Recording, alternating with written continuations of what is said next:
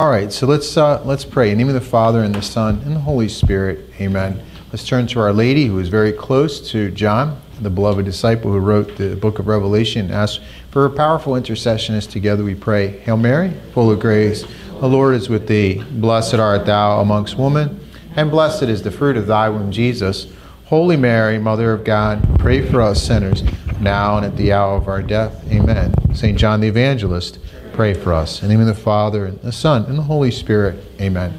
All right, so folks, we're going into, uh, we're continuing in uh, Revelation chapter 2. And last time we finished chapter 1. And, um, you know, I was sitting there thinking, like, this, this class could go on for 21 weeks at this rate. But I really don't want to rush, you know, through, through the book of Revelation because it's one of those things that's so packed with information and it's one of the most difficult books to read.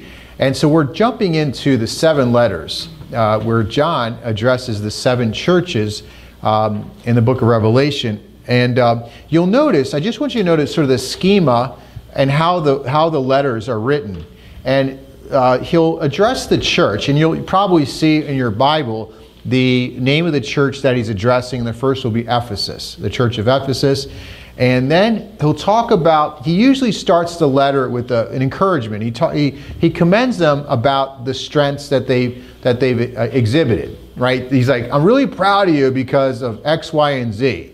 And it's almost like, you know, it's like you're bringing uh, one of your employees in and you have to kind of correct them, like, hey, you're doing a great job and I really think you're working well for the company. And then there's this but, he goes into the failures. And so he'll address the failures that they are that he's that he's upset about that our lord is addressing saying this is good but this is bad. And then he gives them instructions. He'll, he'll tell them and us what we're supposed to do if we find ourselves in this situation.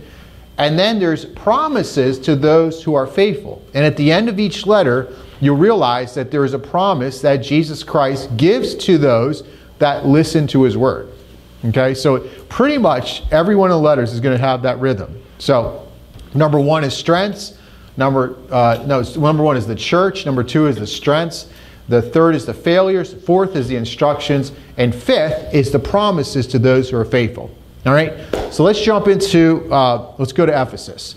Now, if you open your Bibles uh, to Revelation chapter two, all right, and it says, To the angel of the church in Ephesus, write. Now, let's stop there. Remember, we talked about this issue with the angel. It's either the guardian angel of the, of the church, but more, probably more, probably he's uh, more, pro, uh, probably it's more going to be the, the bishop of that particular church. So the angel, when you see that, more than likely he's addressing, Jesus is addressing the bishop of that particular church.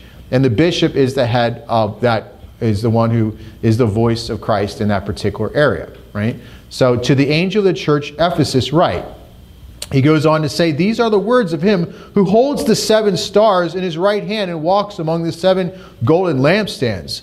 I know your deeds, your hard work, and your perseverance. Okay, so what do we see there?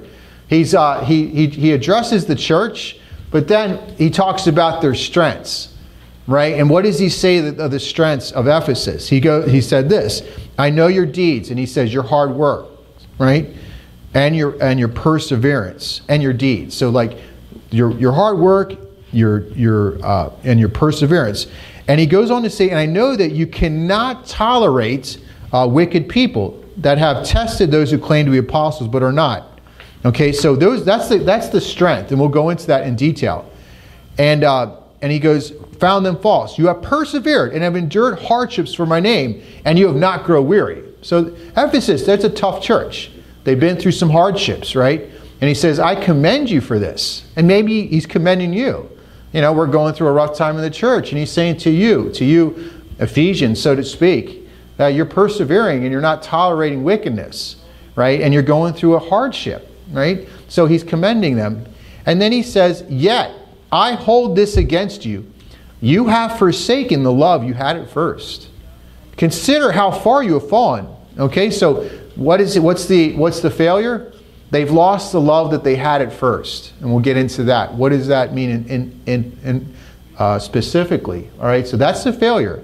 You're doing great works in your work in your in your deeds. You're not you're not falling into bad doctrine and you're not becoming a heretic. But your spirituality and your love, your interior life has grown cold. You're not praying well. It's become mechanical, right? And then he goes on to say, and then he goes into the instructions. Notice the instructions.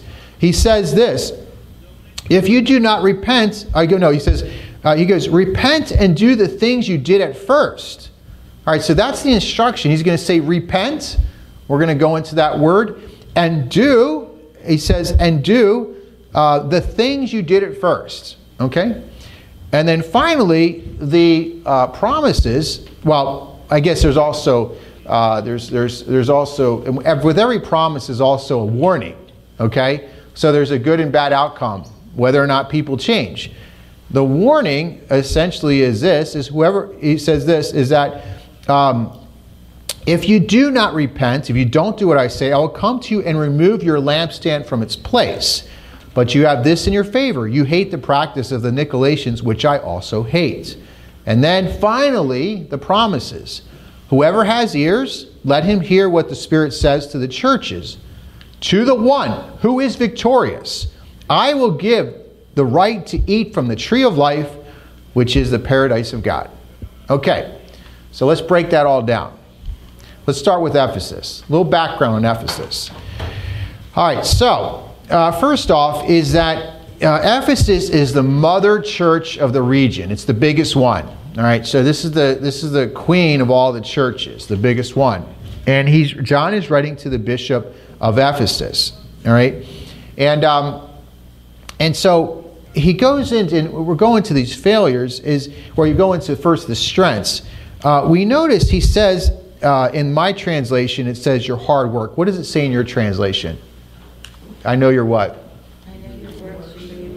Your works and your labors, right? So he kind of like your works and your labors. There's a kind of two words that are similar, but then he also talks about their perseverance. Okay, so what what they're experiencing is like they're going through.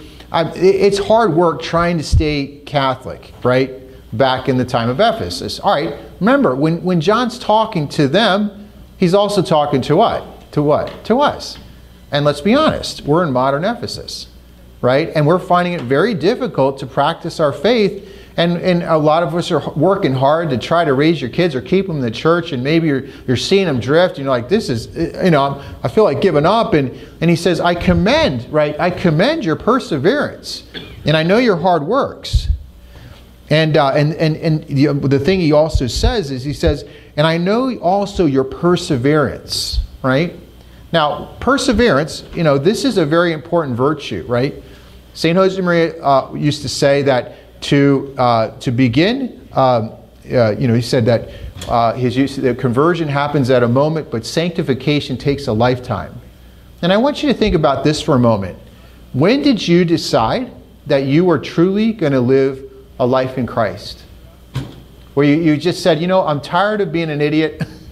I'm trying to try, I'm tired of just doing my own thing and I'm not going to disobey God and, and I'm going to actually be a Catholic, you know, and, and not just get the sacraments, but actually do what it says. Right? I mean, he, he says, and, and he's telling us, if you've decided, he says, hey, uh, thank you.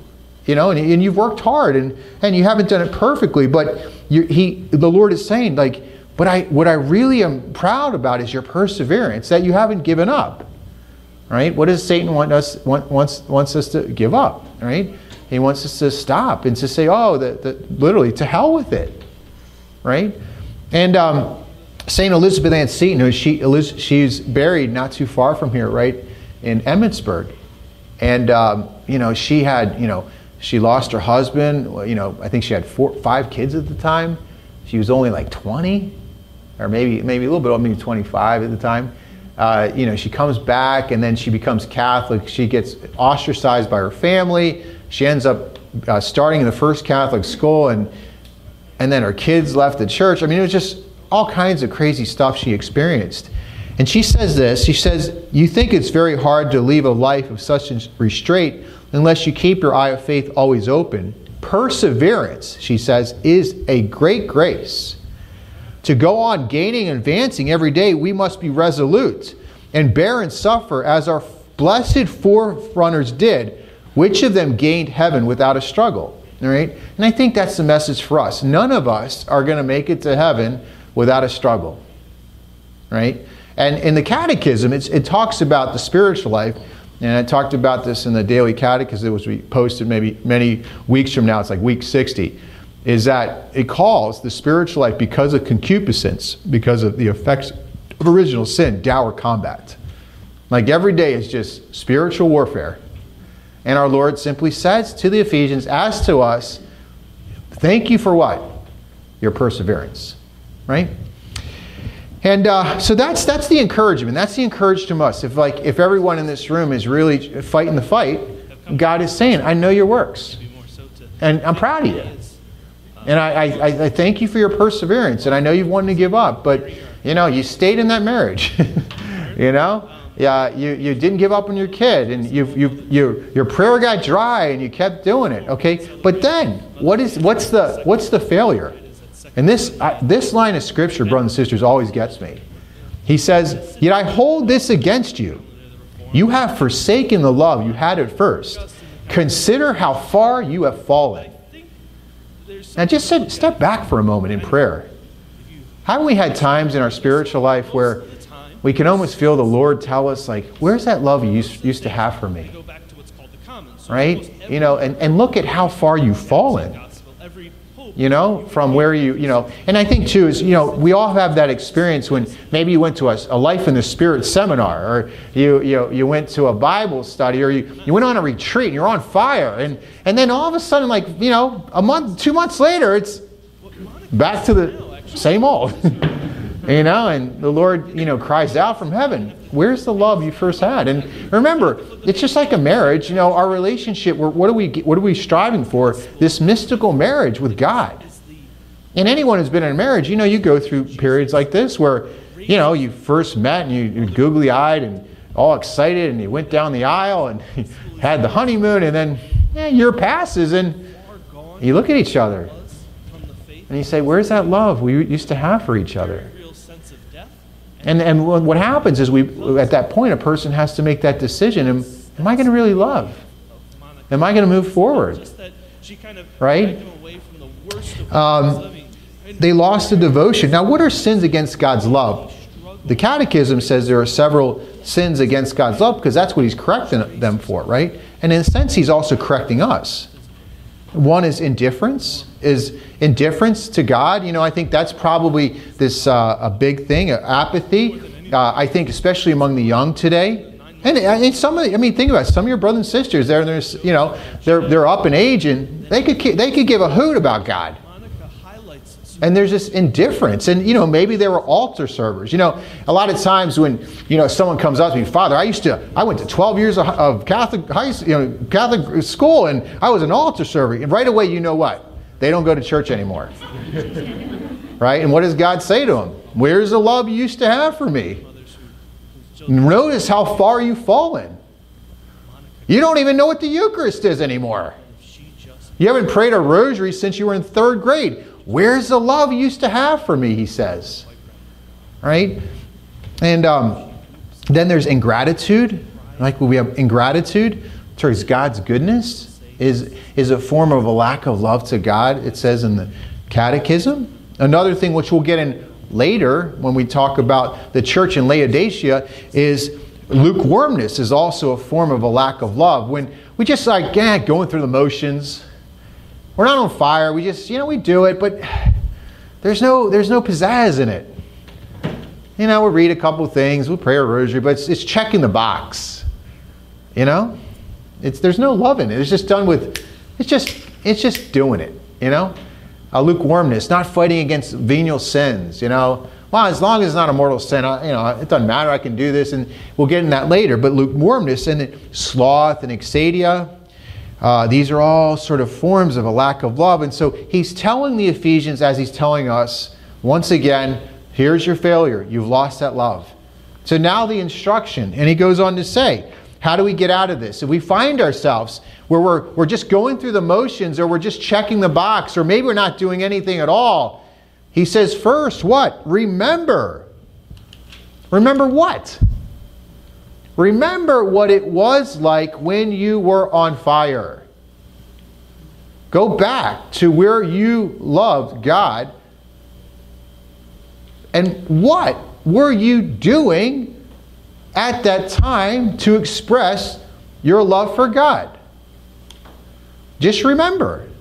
And that's true with a marriage. Like if your marriage is going south, what do you do? Remember. What would, you know, a lot of a lot of like couples, you know, they're married for 20 years. They haven't been on a date for 7 years. Like, like they'll come to spirit, oh, my marriage stinks. Well, when's the last time you took your wife out for dinner? Oh gosh, uh, 7 years ago? But what do you think is going to happen in that marriage? But take that also into our spiritual life. You know, you can't, you can't expect a, a billion dollar spiritual life with a 10 cent prayer life. right? I mean, in other words, it's like, where's that love? Remember, he says. And he says, because God's great love for the Ephesians, they were made alive in Christ and their new life exhibited with passion and gratitude. And the passion for our Savior is spilled out to all those around them. But now it's just kind of deadened. So they're good people. And the people in the church are good people. You're good people. But the question that Jesus asks them and us is what? Am I in love? Am I in love? Remember, right? Number two, he says, repent and do the things you did at first. All right. And what are the things we used to do when we were in love? Now, what does the word repent mean? The, the word repent in, in Greek, is, you probably heard this a gazillion times, the Greek word for repent, uh, I don't know if I can see this, but I'll write it here. It's metanoia. It's an important word in Christianity. And it, it, really means to, to turn around. It, it means to turn away from sin, but to turn towards God. Metanoia. It means a sort of a total change. Repent means to turn away from the evil you're doing and turn back to God. Okay? And, um, and so that's what we have to do. And he says, and do the deeds that you used to do when you're in love. And I always tell people when their spiritual life stinks, I said, well, okay, remember the time you were in love with God. What were you doing? And simply do that again. And that's what Jesus Christ says to what? The Ephesians. So remember and then what? Repent. That's how we get out of this failure of that love we've lost at first. Okay? And then what's the warning? The warning here, uh, well, uh, well, I guess, you know, that, that's the instructions, right? The instructions remember and repent. Now we go to the promises, but also remember, there's also always a warning. He's like, okay, if you don't do this, we've got problems, right? And that's also, with all the good news, there's also bad news, right? As there's good news that there is heaven, there's also hell, right? And so God, being a loving, truthful, loving, merciful God, is always encouraging us to do better, as he did to the Ephesians he also warns us. Then he says this He says, I will remove your lampstand. Okay? I'll remove your lampstand. Now, what does this mean? Uh, the lampstand was sort of like it's symbolic of the congregation and the light during liturgy, during the sacred liturgy. There's a lampstand. And basically, he's saying if you all lose your love, your, your congregation will disperse, it will die. Now, let's look at a lot of parishes around here. And let's look how they used to be 50 years ago and look, look at how they are now. Like St. Peter's in Waldorf. I mean, they used to have thousands of families. This place, 2,000 families. I mean, even the churches that are sort of doing okay are still suffering. Where's the love? And you know what? I think because of years of lukewarmness and poor preaching and all this other stuff, and congregations are dying. The Catholic Church is dispersing. The pews are emptying. What do we need? Fire. We need fire again. We need to repent and do the things we used to do. What are the things they did in the 1950s that we're not doing? Well, back in the 1950s, every Catholic went to confession every week. Now, now Catholics go never, if ever. A lot of Catholics used to pray the rosary. A lot of people don't never pray the rosary. The only time you see the rosary is when they're buried and it's around their hands, uh, on their, in their coffins. Too late. You know, I mean, there just were things that people used to do they don't do anymore. And God says, remember and repent And if you don't, I'll take the lampstand out of you, which means your congregation, your church, will die. That's what Jesus is saying. We don't want that to happen, right? we want it you know, to continue. And then he says this. He says, but he also gives them another commendation. So the Lord's like, okay, I just beat you up. Now, another commendation. He says this, but you have this in your favor. You hate the practices of the Nicolaitans, which I also hate. So, what do we have to figure out? What was the practice of the Nicolaitans and what did Jesus hate? Because if Jesus hates it, we also must what? How many know it's a good idea to love what Jesus loves and hate what Jesus hates? you know? But the problem is, a lot of people love what Jesus hates and they hate what Jesus loves. So let's dive into this. What, what is this? Now, who are the Nicolaitans? We'll, we'll find them again in another letter, but what were they doing? Now, the Nicolaitans, they're, they're uh, it was started by one of the original seven deacons, uh, which is Nicholas. Uh, he's in Acts chapter 6, verse 5. Can someone just turn to that real quick? Acts chapter 6, verse 5. And just uh, if you could, um, I didn't, why didn't I not bring my Bible here? Uh, yeah, no, I have it written here. It says this. Listen to this. This is Acts chapter 6 when they, they chose the first seven deacons. All right? And it goes on to say this it goes on to say this proposal pleased the whole group. They chose Stephen, a man full of faith of the Holy Spirit, also Philip, Prochorus, Nicanor, Timon, Parmenas, and Nicholas from Antioch, a convert for Judaism. Now, Nicholas was one of the seven deacons. Now, what happened to Nicholas, all right, is that he became a heretic. Does anyone know what a heretic is? All right, heretic is a bad word. You don't want to be a heretic. It's a sin against the first commandment. It's when someone, uh, it basically, uh, canon law defines it as following when someone um, obstinately denies a, a truth of the faith that they must believe, and worse, teaches it as so. Okay, so for instance, a heretic would be someone who says, well, you know, Jesus isn't really God, he was just a prophet. That would be heresy or that the Eucharist is not really Jesus, it's just a symbol, right? That would be something awful for a priest or a deacon to preach. Well, what did Nicholas preach? What was his problem? Well, St. Clement of Alexandria puts it this way the Nicolaitans, he said, this saint, he said that they abandoned themselves to pleasure like goats, leading a life of self indulgence. So they were not whatever he was preaching made his, his parishioners start acting like goats. so obviously it wasn't good. Now, um, basically what, what, you know, what they were doing is, um, is uh, essentially there was two things they were guilty of. They were getting mixed with um, pagan rituals where they ate meat sacrificed to pagan gods. So they were kind of getting involved with New Age stuff. We're going to talk about that later when we get to one of the other churches. But they are also they are also um, teaching that sexual sin is not a sin. And so in these in these little rituals, there was also uh, acts of fornication, uh, sex before marriage, and these other things. And basically, they're just saying, ah, that's really not a sin anymore. Okay, and so a lot of people they would go to mass, but they were doing these sexual practices that Jesus hated, and he tells them, You're not doing that. I am proud of you, but I hate what the Nicolaitans are doing. All right, let's go to 2021. Right? Um, uh, more than 230 bishops in German in Germany um, basically were saying that they were going to bless homosexual unions. So they would be modern day what? Nicolaitans, and what they're doing is exactly like this deacon was doing back in the, in the early church, leading hundreds upon hundreds or even thousands of people to sin.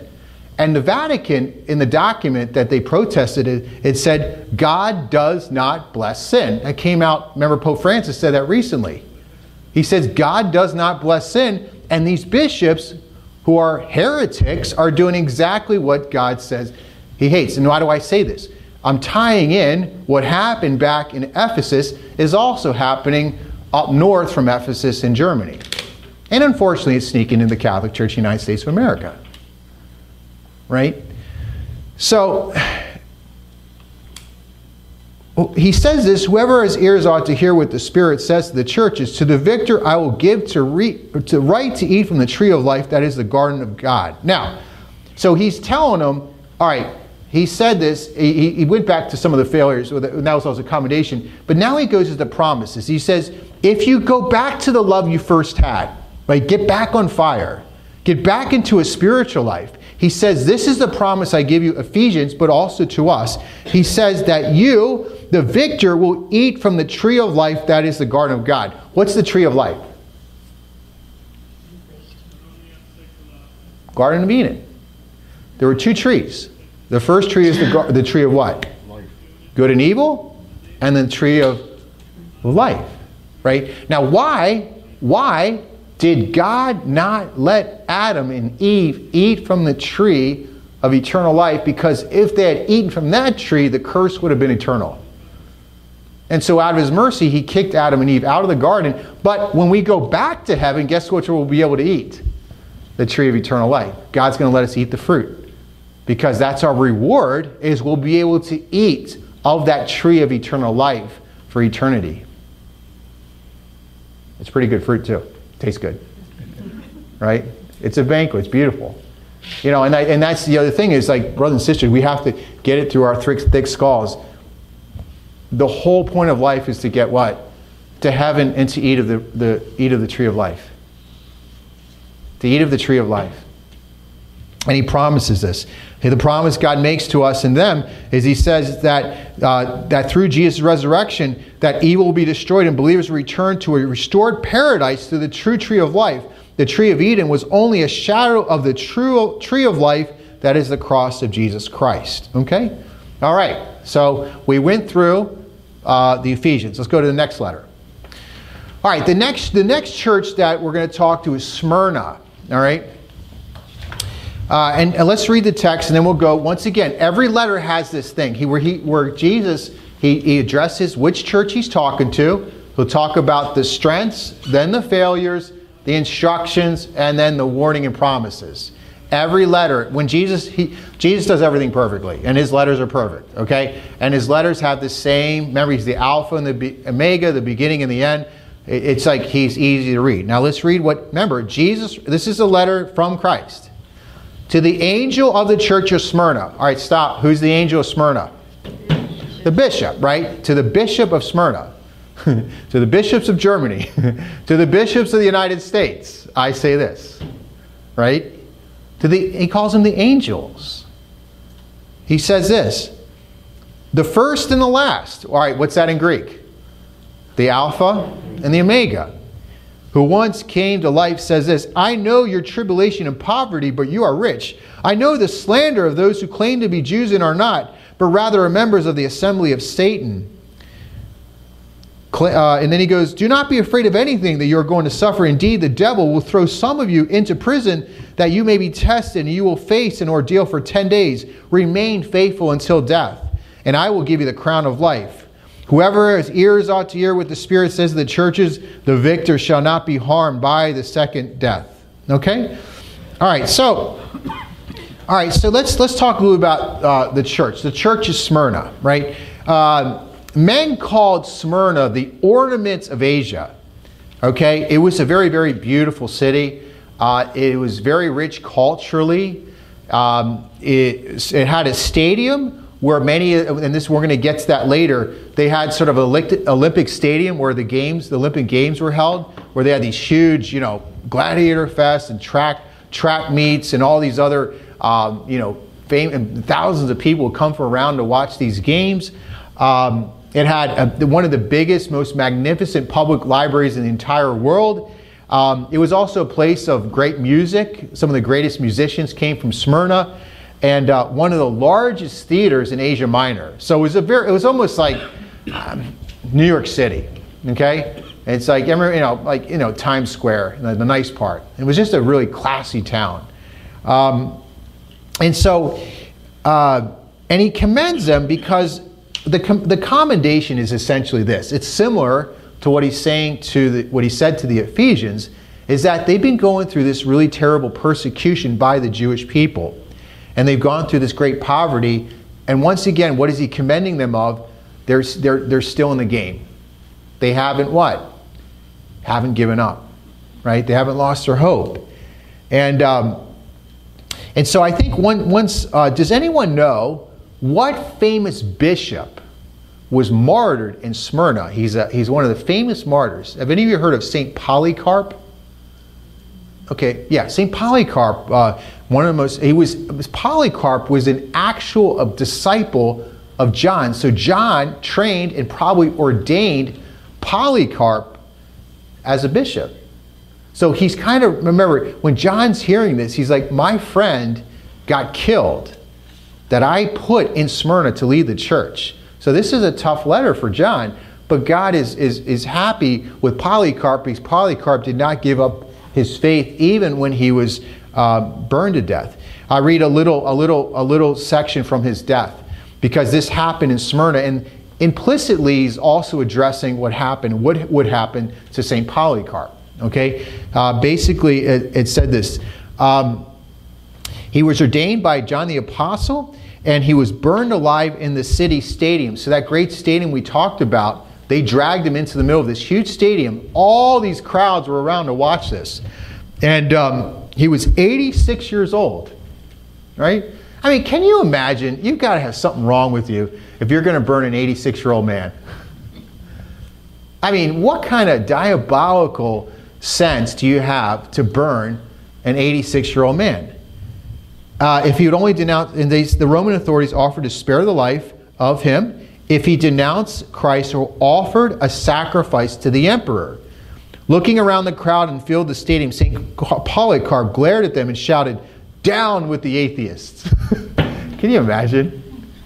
It's like Braveheart, you know, like if, if you just ask for mercy, and he yells, Freedom, you know, and he's just down with the atheist.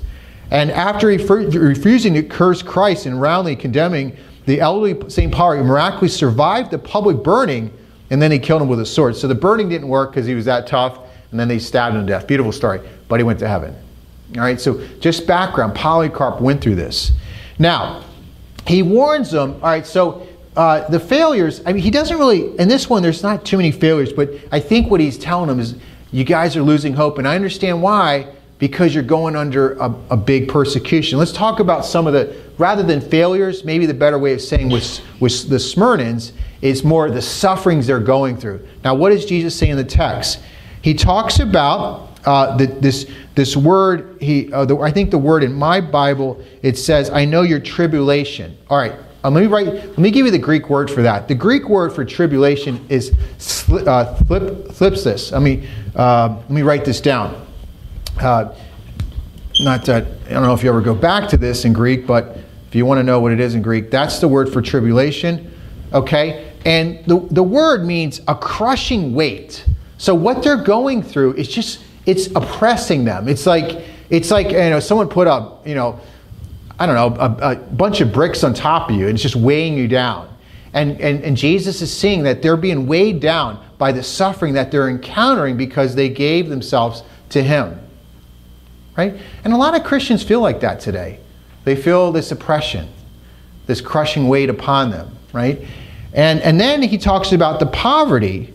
Now, the word in Greek, I won't, I won't bore you with the word in Greek, but it means uh, like destitution, not just like poverty, like I don't have some things, like I'm not as well off as someone else. This type of poverty that these Smyrnans are going through is like destitution, abject poverty. Like we've got next to nothing. Now, why are they experiencing this poverty? Well, because, first off, were the first Christians, did they come from uh, a lot of money or were they from poor, poor class? Does anyone know? Yeah, a lot of the first, the first, first century Christianity, a lot of them were slaves. A lot of them came from lower, from lower classes. Uh, in, for them, like the Christianity was like a solution to all their problems. And the other problem is that the reason that the Smyrnans were poor is that the heathen mobs would attack Christian homes and basically just pillage them and loot them. So like out of nowhere, you're, you're having dinner and all of a sudden they're like, down with the Christians, and then, oh, you know, poor kids hide. And then, you know, they, they'd ransack their houses, take all their stuff. Now, back in, in ancient times, they didn't have life insurance and all this. You didn't, you didn't just call your insurance company like, hey, someone stole my laptop. You're like, well, good luck, you know? I mean, this is, we're talking, this is, this is ancient times. You didn't have those kinds of luxuries. All right, so if someone stole from you, that was it. I mean, if you caught them, but remember, and also the, the, you know, the, the legal system wasn't necessarily that strong either, so you had a lot of problems, right? So they, they, they experience this poverty, right? And thirdly, he, what does he talk about is that some of them would suffer imprisonment. And what does he say here? He says that, let's go back to the text. He says this, is that um, he goes on to say that um, do not be afraid, do not be afraid of anything you are going to suffer. Indeed, the devil will throw some of you into prison that you may be tested and you will face ordeal for 10 days. Okay, so let's, let's talk about the 10 days. All right, 10 days, when you're biblically, that was an expression used at the time of Christ or during the time of John, which basically meant a, a, short time that would end shortly. Okay, so he's, it's kind of like he's giving them hope. He's like, You're going to go to jail, but I'm going to I'm going to break you out of jail. But I think if you go deeper in it, when you're reading this spiritually in prayer, what is Jesus saying to us? That life's like a prison. But guess what? Jesus is going to go what? He's going to break us free. He'll break us free from prison and we'll get to go to heaven. There's no more suffering and pain and paying the price and all this. Like, we'll be set free. Like, it's a short time that will end. Right? So I think, too, implicitly, Jesus is talking about just the prison of life. Because sometimes life can feel like what? Like a prison. Right? But God said, don't worry, it's just a short time. It's nothing compared to what? Eternity. Right? And um, now, the other thing we have to know imprisonment, like going to prison in the time of Christ, I mean, and also in the time of John, uh, it was, I mean, these were not five star hotels. You know, prisons right now are, are pretty, pretty good. They got weight rooms and you got pretty good food and decent beds and showers. Uh, that was not ancient prisons. I mean, you went to jail. I mean, yes, it, uh, some never came out alive. It was almost like a death sentence. If you went to prison, sometimes you never got out right? So he just, I mean, our Lord just says, have courage. Now, uh, what are the instructions? Well, he, our Lord doesn't really, he doesn't give too many instructions to them. Um, he just says, well, yeah, he does. He says, here's, here's, here's the instructions. Ready? Very simple. Remain faithful till death. Now, let's, all right, let's step back and you're a Smyrnan. Oh, come on, you know, like, wait a minute. But that, he just says what? Just what? Remain faithful to death. But he's also telling who that? You and me. Just remain faithful to death. And I promise you, I promise you that you will receive a crown of life. Right? And maybe that's a great thing to pray about. Is like, you know, will I remain faithful to death? You know, that song, Faith of Our Fathers. We will remain faithful until, you know, whatever. Yeah. All right. All right. So, I just I started learning the guitar, you know. I'll play that later. But anyway, um, it's a crown of life. Now, what's the crown of life? All right, let's all right. Let's look at the Greek word for this. The Greek word for crown of life is Stephanos. All right, Stephanos. It's like almost like Stephen. S T E P H A O N S. Okay, and and what it was is it's it was a crown that was given to someone after they after they did some. They got it was a re, it was a reward for some kind of victory. It was a it was a, a crown you got after some kind of event. Okay, and um, so um, what are what are some of the examples of this? Um, well, once again, remember what was one of the things that was in Smyrna, the big Olympic stadium. All right, so let's say there's a track meet in the stadium. You win. What did you receive as your as a reward? A Stephanos, a crown of life. And so they they're like, you know, dun, dun, dun, and they're like, come on up, and you go up, and they would take the crown of and place your head, and you would turn around and oh, everyone would just cheer, and you're just, you know, looking at your crown, and you know, you probably walked around the street and look at my crown, you know, got my Stephanos on, right? You know, this this whole crown of life, and it, it was just kind of like it was, ah, check out, that guy's got the crown, you know. It was like these are bragging rights, right? And um, so it was, it was a victorious, and but also um, what he's talking about is um, now the other thing is in pagan temples when a, when a person went into worship in a pagan temple, they actually had to wear a certain crown before they went in to worship the pagan gods. Okay, now obviously, uh, Jesus is saying, no, no, not that temple, but when you come to my temple, victorious, after you've won this victory over life, you know, you're gonna, you know, you're winning this Olympic game, which is called life, and you're victorious, and all the saints, you're walking in, and St. Peter puts the Stephanos on your head, and all the saints are like, ah, oh, so you're cheering, and you're giving high fives to Padre Pio, and all the saints, you're walking through, right? And then you get to see who? Who? Your mom. No, just kidding. God, right? it's so funny. Oh, yes, like what's heaven like? I get to see my mom and I get to see my dad and and I get to play sports and the weather's great. And you're like, and you get to see God enter into his temple with the Stephanos, right? You've been victorious. And he says, This is what's waiting for you for those who persevere till what? Till death, right? All right. Then he said, But then what's the warning? Um, Oh, he also says this you will not enter the second death. All right, what's the second death? Yeah, it's, it's hell, right? Second death. So the early Christians had a saying that wisely expressed the concept of a double death and a double resurrection. This is what the early Christians used to say Born twice, die once. Born once, die twice. All right, try to write that down and try to figure that out. Born twice, die once. What's the two, what's the two births? The first birth is our physical birth. What's the second birth? Baptism, Baptism into eternal life. And then you die what? Once. And then it says, born once, die twice. Our body dies, but then our soul could possibly die eternally.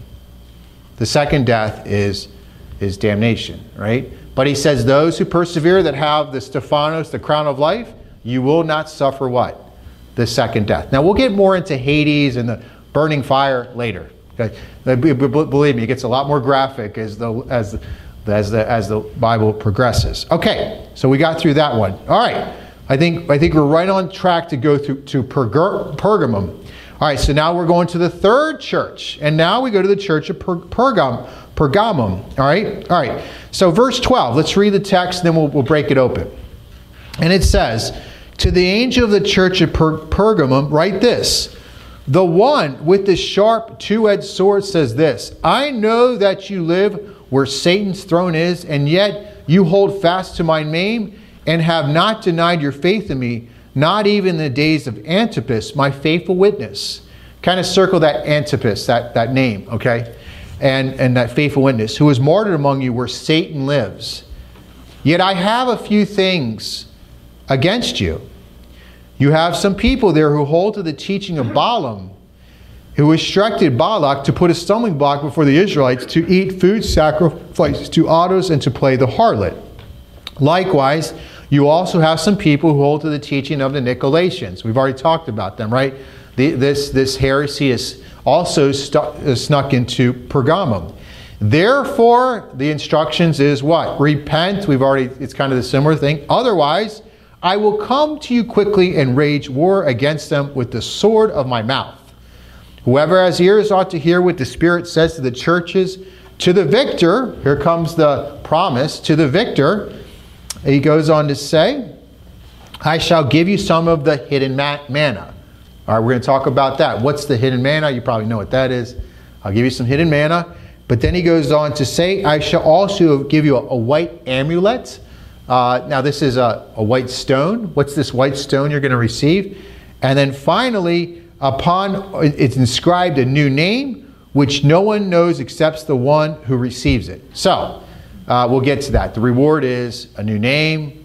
Uh, we're going to get the hidden manna and this white rock and a new name. Okay, so all right, let's talk a little bit first about the church, Pergam, per, Pergamum, and I might I might be butchering the pronunciation of that, but Pergamum was about uh, 60 miles north of Smyrna and 15 miles from the coast. Um, and it was in the western Asia Minor, known um, as uh, it's a Roman province.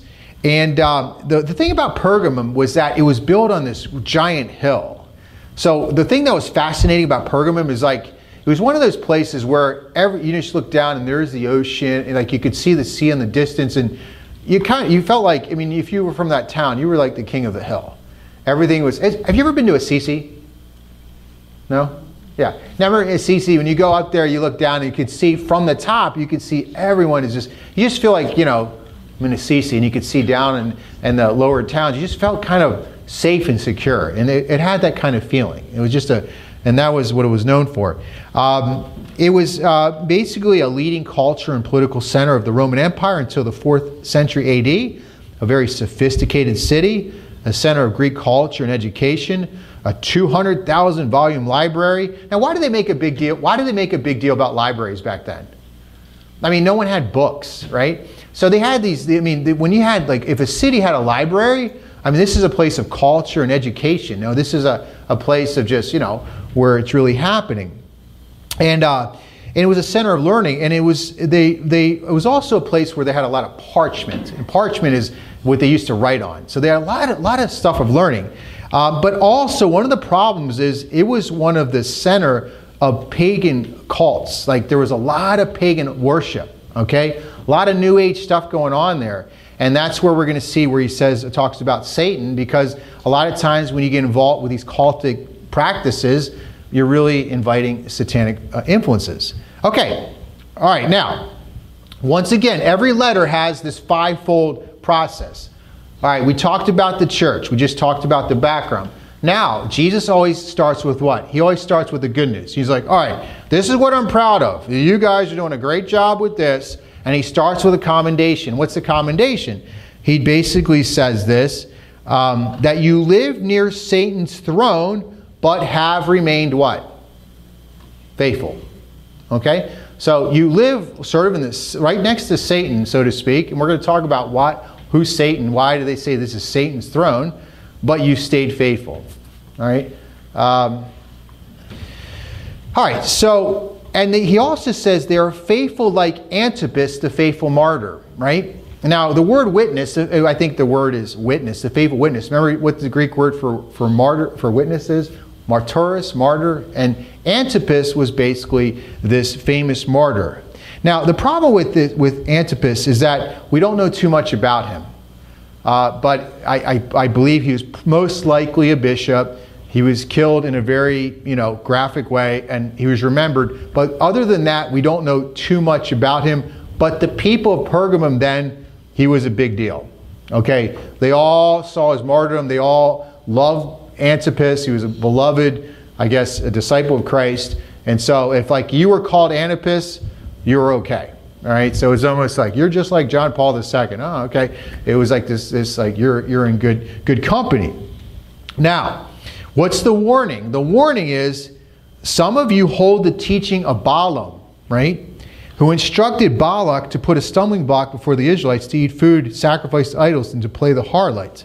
And likewise, you some of you hold to the teaching of the Nicolaitans. Okay, so let's break down a couple things, and let's first figure out why does he call Pergamum? Why does he say the throne of Satan's there?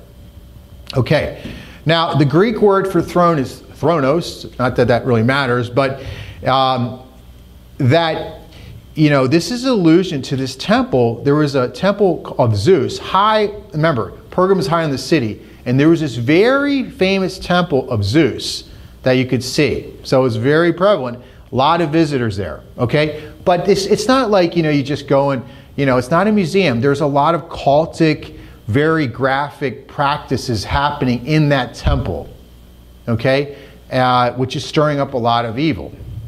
And so, so one, one possible possibility is that Jesus is talking about this temple of Zeus where these pagan practices are happening. Um, it could be just basically all Pergamum because there were many cultic temples in that town. So basically, he's saying the throne of Satan is the whole town. It's totally messed up. Okay, and you're living right in like sort of like Satan's headquarters. Did you know this?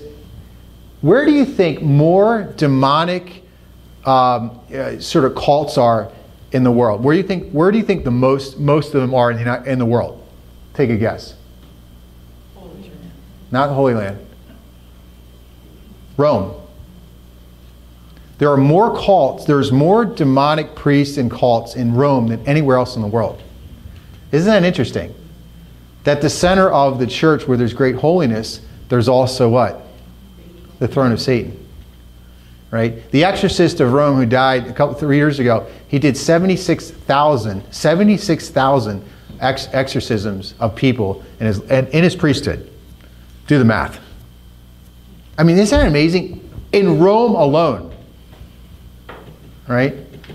Um, and now it could also refer to the community of the false Jews, uh, which it was called the synagogue of Satan. These unbelieving Jewish communities who rejected the Messiah and attacked the church. Okay, so. Um, so let's talk about you know so so this is that's what the throne of Satan is. Okay, now let's go into the teaching of Balaam. All right, and he says some of you are holding the teaching of Balaam. Um, would someone do me the favor of reading or opening up to, well, actually, rather than go the, the, the, scripture quotes, it's from the book of Numbers. You can look at later. Let me give you the verses that you can look up later. Numbers chapter 24, verses 10 to 25, and all of chapter 25 uh, speaks about Balaam. Okay? Do any of you have any? I mean, I'm not sure if you have too much knowledge of the Old Testament or what we're talking about, but he's referencing something that happened in the Old Testament that's happening here in Pergamum. All right, so let's unpack what happened in the book of Numbers, uh, namely in Numbers 20, chapter 24. And uh, so let's just back up. Numbers is when, remember, the Israelites are going through the desert. And after 40 years in the wilderness, uh, the new generation of Israel was ready to take possession of the promised land. And Balak, the king of Moab, right? You know in the song we say the Moabites, the king of Moab, uh, was afraid of the Israelites passing through his land, so he hired a prophet Balaam. So Balaam was a, was a, was a false prophet.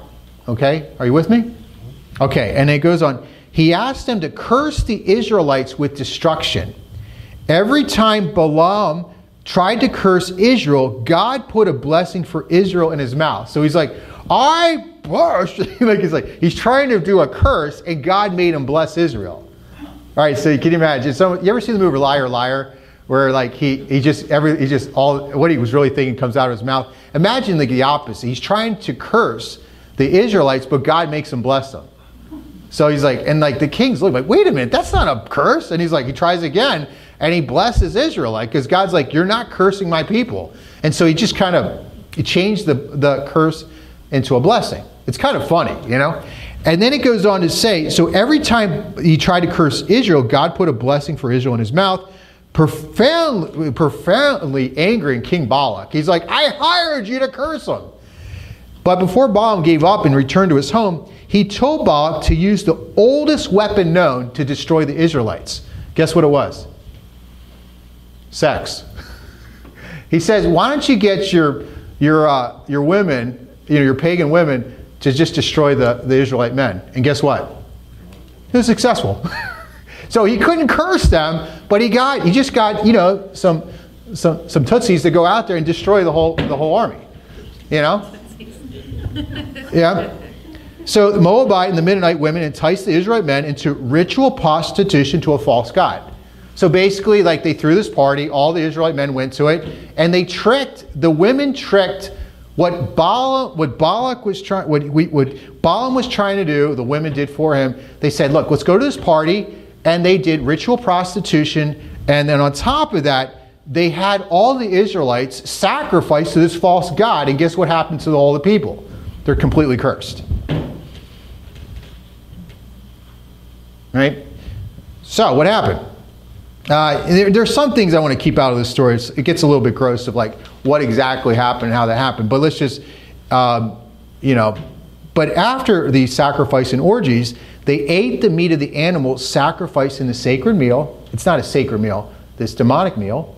And the sin of the Israelite men, in, in this case, was not only the sins of fornication, adultery, and sodomy, with pagan women, but also eating the meat sacrificed to the false god, which amounted to the national adultery from the covenant with Yahweh.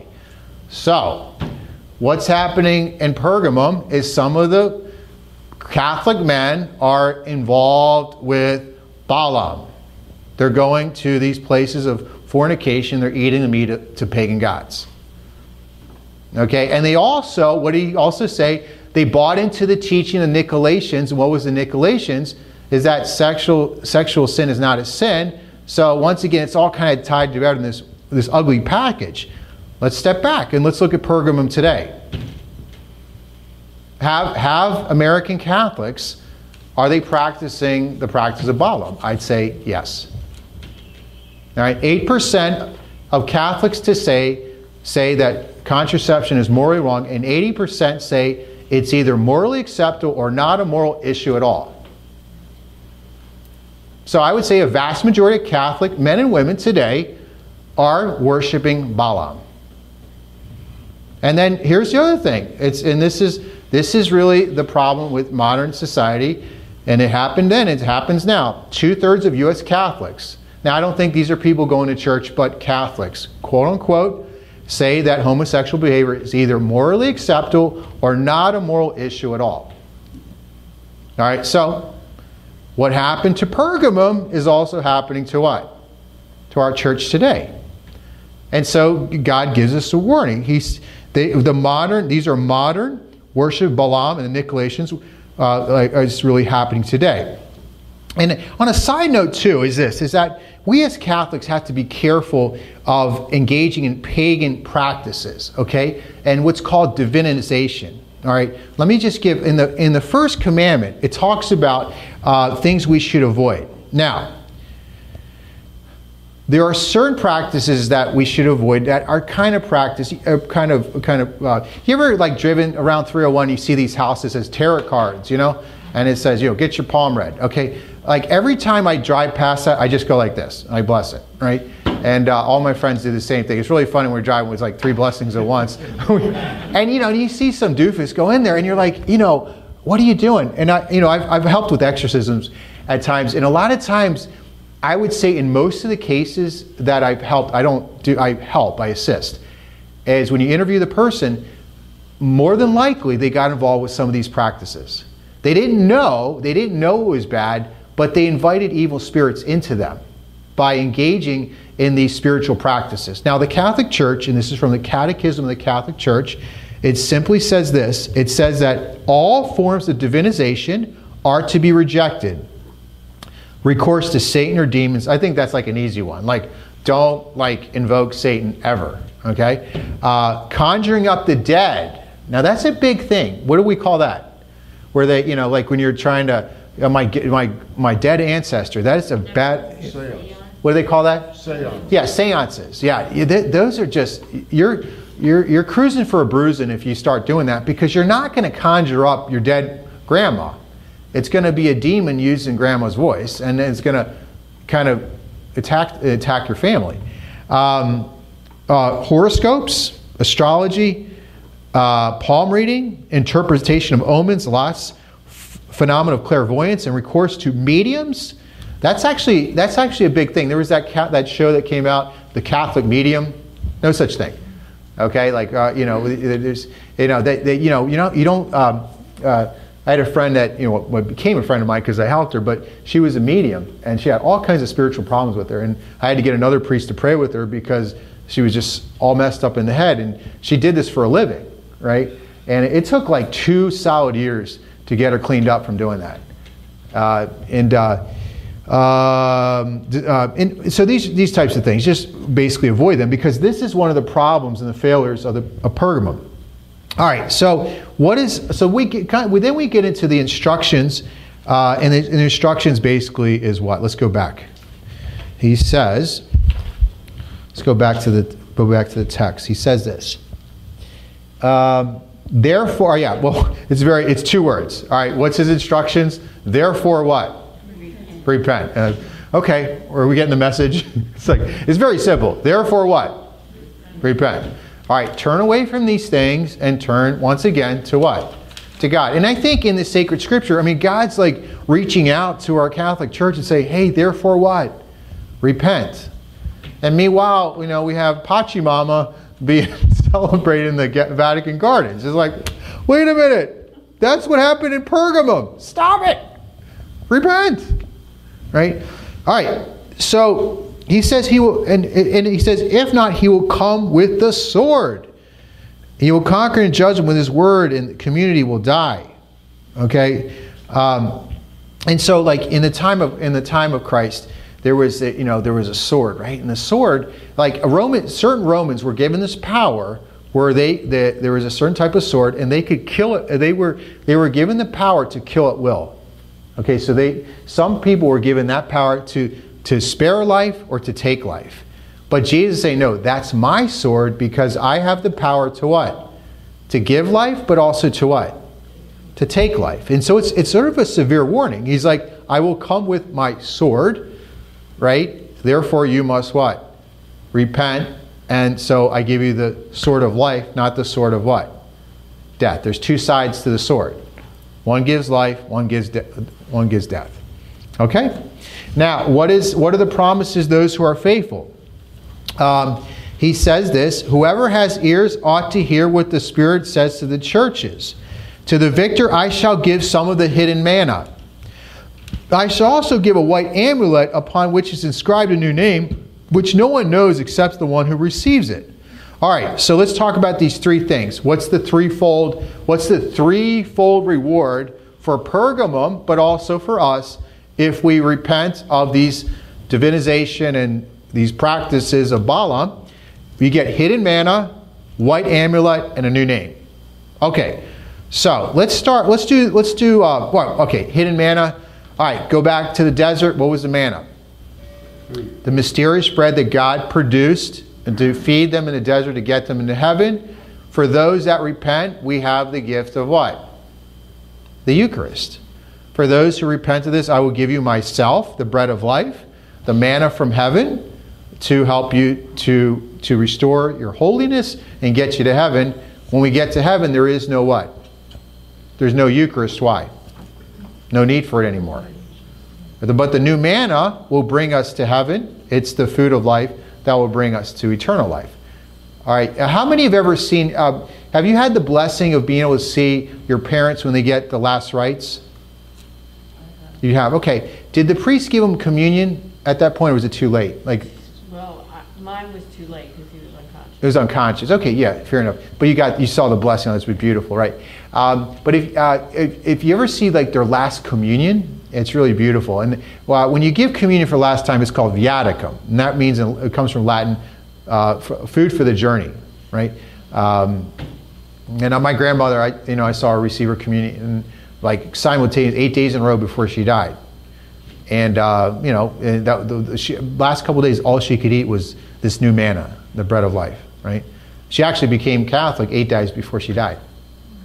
So, yeah, really, it's another story. Um, the other thing is this white amulet. What is the white amulet? Uh, this is um, a stone, and so in the first century, uh, there was a practice that when you were invited to a feast, you would have to bring your white stone with you. So it was almost like you know your your um, invitation. So a lot of times, like you get in the mail, like, "Hey, hey, honey, go check the mailbox," and you know what's in there. There's a stone, mom. Don't drop that. That's the amulet, because that would be your ticket to get into the banquet. And if you didn't have your amulet with the initials on it, you couldn't go to the feast. So what do you think the white stone symbolizes for us? It's our admission into the banquet of the Lamb, the eternal wedding feast in heaven. So he'll give us the white stone so that when we're like, God, all right, so we got two things now. We've got the Stephanos, the crown of life, and we got our stone. You got this and this, right? So one of the rewards is you get this white amulet, and you are able to go into, into the feast. And then finally, this new name, okay? Uh, what are we talking about there? Um, well, when we were confirmed, what did you receive? A new name, right? And when we go to heaven, I, I mean, are we going to have a new name? I think, I know it's, it's very interesting, but the, what it really means is like a new life, right? More than the name itself. But let's kind of step back. Who, who uh, in our Catholic Church, when do people get new names? Well, religious brothers and sisters, right? So, you know, like, you know, the blue nuns, uh, they all have like these really long Marian names, you know. Sister Mary Immaculata, uh, you know, of the Blessed Virgin Mary, right? And she used to be Jenny, and now she's Sister Immaculata of the Blessed Virgin Mary, right? And so the, what people do is, and they basically believe that that name was what Jesus whispered in their ears about what they should be. That's kind of like one of the beliefs of religious sisters. They think that Jesus gave them that new name, and that's the one they choose till they die. And, and I guess when they die, maybe that's their new name. But in, in essence, we all get a new name when we're baptized, and we have this new life. And so we're given this new identity as kings and queens in God's heavenly kingdom for those who once again repent and turn away from Balaam, Nicolaitans, and also these heretical practices, and also divination, all these other things. Right? So, what's the take home? Make sure you have your rock, get your white rock, get your new name, get your new manna, and get your Stephanos, right? Your crown of life for those that are victorious. Okay? All right, let's stop there. And so we did three letters, and next week we're going to go to the church of Thyatira, Laodicea, and two others. Um, uh, and uh, they're, they're long letters. Actually, the next one is just a little, a little uh, sort of commercial. Thyatira is the smallest and most insignificant of the seven churches, and they get the longest letter. Okay? So kind of ponder that. The insignificant church gets the what? The longest letter. And the biggest one gets what? The shortest. Okay? Maybe there's something in there. Okay, let's say let's say a Hail Mary, and then you can uh, rock and roll. Name of the Father and the Son and the Holy Spirit. Amen. Hail Mary, full of grace, the Lord is with thee. Blessed art thou amongst women, and blessed is the fruit of thy womb, Jesus. Holy Mary, Mother of God, pray for us sinners, now and at the hour of our death. Amen. The Lord be with you. May Almighty God bless you, the Father, the Son, and the Holy Spirit. Amen. Okay.